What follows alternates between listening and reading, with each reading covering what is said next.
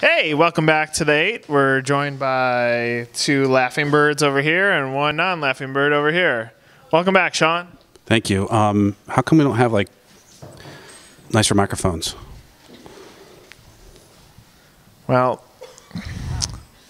this is the eight.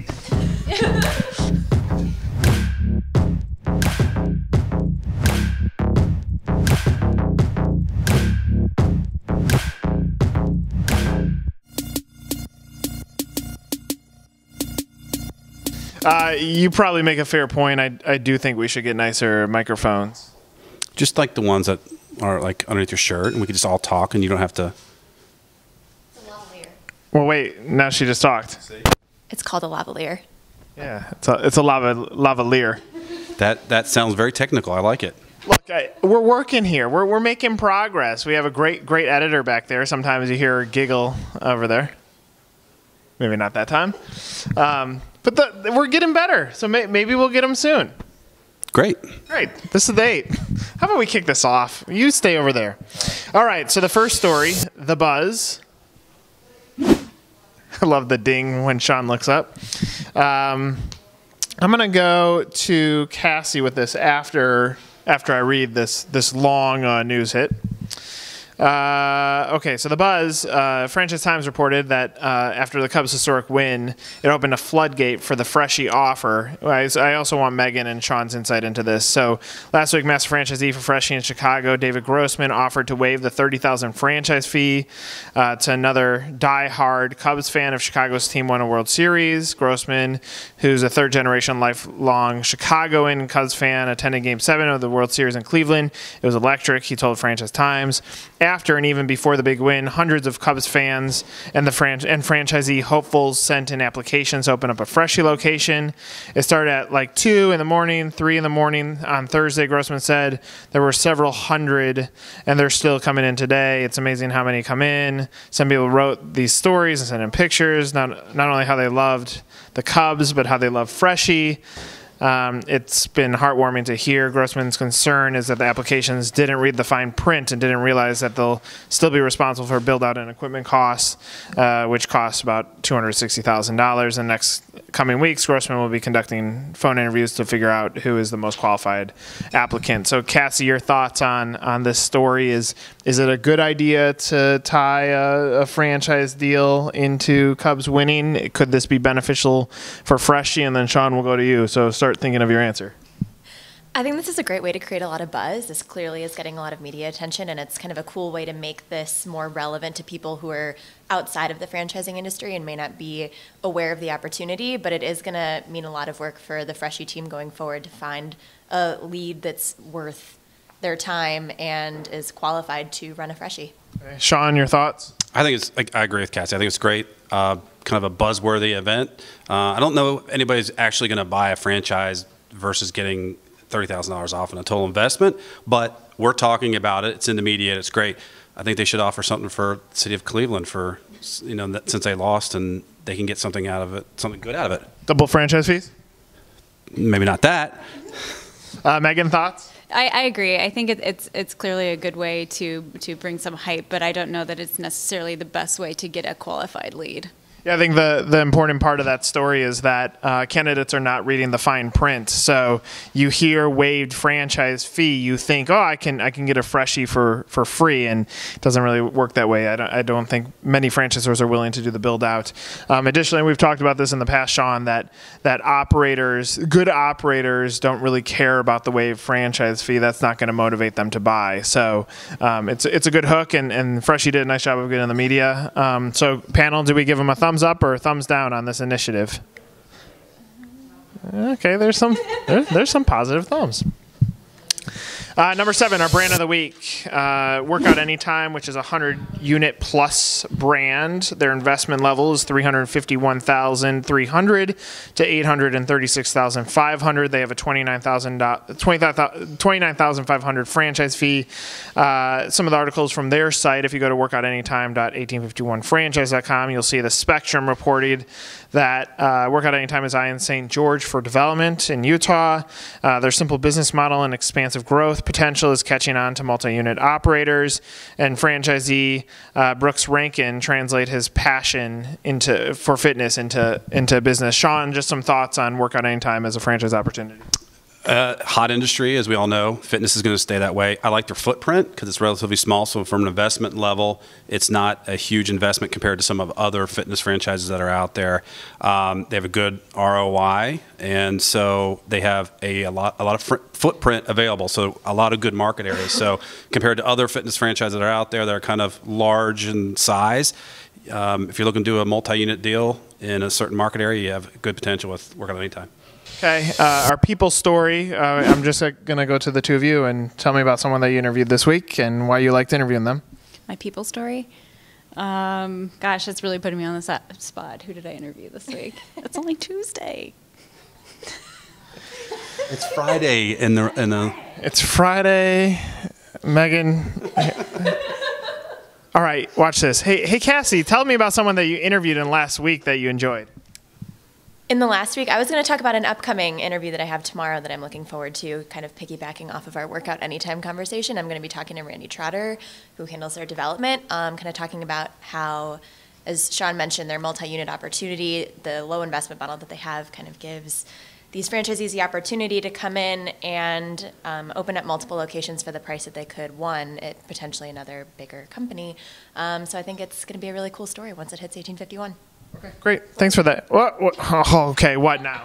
I just thought of one.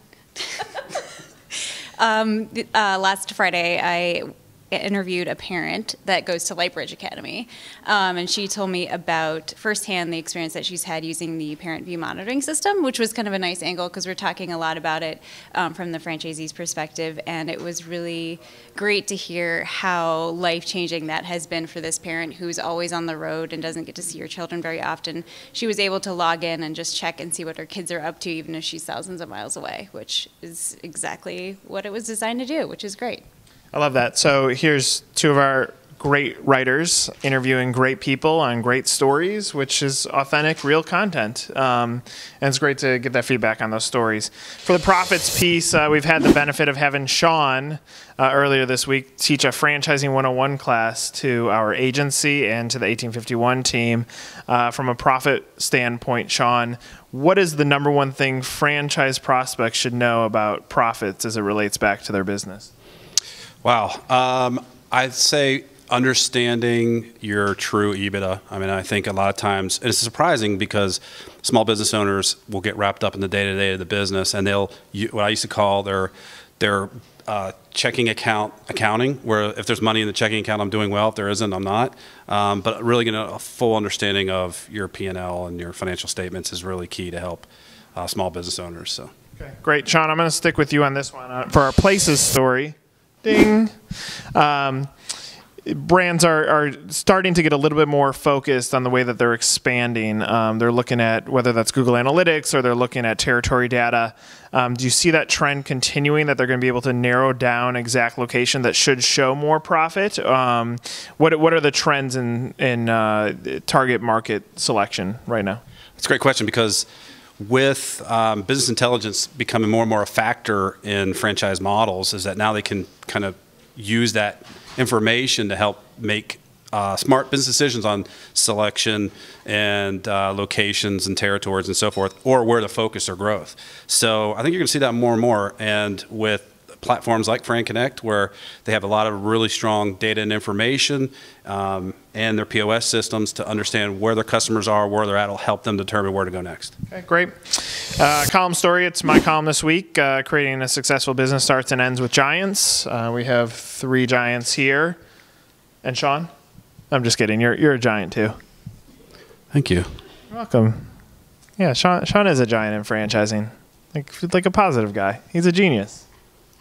Thank you. You're welcome. Uh, the, the whole point of it is that if you want to create a great business, it's going to start with great people. Uh, and here at 1851, we've developed a great team. And Scott, is that is that a better joke if I say great team and then Scott? He's not here. That was kind of the point. um, but no, we've created an excellent squad here, and we're continuously trying to tell the great stories that exist out there. So um, read the column. I think you'll get good insight that, that published yesterday. In the media, uh, the the election it's over. Unfortunately, we're filming on Tuesday, and it's Friday that you're watching this. So, who knows what happened? I don't know what to say. I don't know who won yet. Any predictions? No. It's probably safer that way. Any predictions? No, no. so, so I'm, going to say this comment, and and I'll let I'll let one of you raise your hand if you want to respond to this. In in previous elections, people seem you'll have different ways that you decide to vote. Um, but at the end of the vote, whether whether it was Romney and Obama or McCain and Obama, at the end, Republicans and Democrats still come together as as a country. One of the debates here is that it's been so heated that it is so black and white of of who you're going after that it's going to take a little bit of time for us to all get along um, afterwards. It it could be it could go down as the largest reality show in the history of, of our world in this in this last election. Um, I I certainly am hopeful that uh, no matter who won on Tuesday, and and who knows if if Hillary won, Trump may not even concede. He might want to take this in a legal route. So this this could still be going on right now. We might not know uh, a winner yet, or or vice versa. Hillary might want to sue Trump for something. I, mean, there's there's a ton of mess that could still happen. Um, but I'm hopeful that we come back together as a country and realize that that America she she's going to be just fine, and, and we're going to move on, and and whatever happens in the next four years, uh, from a franchise business perspective, franchisees, franchisors, you're still going to be able to grow. Um, nothing's going to change there. Any comments on that? America has a way of rallying that really no other country has.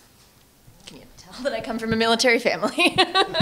Hey, I think wait. Oh yes. I'm just looking forward to my Facebook feed going back to cat videos again. You mean there weren't any Trump Hillary cat videos? No, not yet. I wish I would have thought of that though. Well, and um, let me let me end this because now we're at number one, and I'm just going to keep moving on there, and uh, we're going to go to thought of the week, and this comes from Megan. Megan, what makes a great interview? E when you're interviewing them, what what do you love most when uh, when you get someone that's telling a great story to you? Oh gosh, I think it's when I, we talk about passion a lot, right? Um, it's it's when people. I, I've, I've interviewed people who would get so um, worked up about the brand that they're with to the point of tears because it's it's changed their life so much. When you talk to people like that, it's it's incredible to see just how impactful franchising has been to certain people, and and that's not uncommon in the people that I've talked to. I think that's a great point. So, tears, man. Sean, what's it like being associated with a brand like 1851? It's life changing. It's wonderful. We made Sean cry. This is the eights.